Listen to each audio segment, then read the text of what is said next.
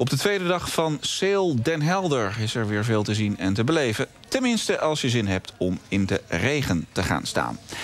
En dat doet verslaggever Joost Lammers voor ons. Joost, gooide de regen roet in het eten vandaag?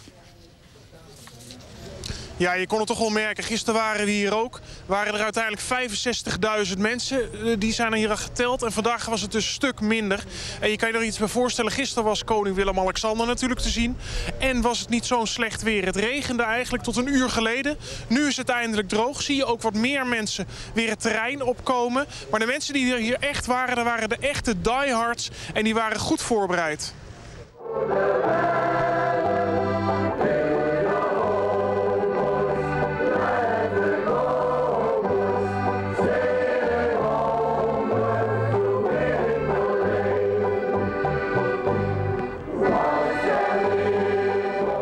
Normaal met deze temperaturen ga ik windsurfen. Het is nou Seel Den Helder en nou ja, dan moet je geweest zijn.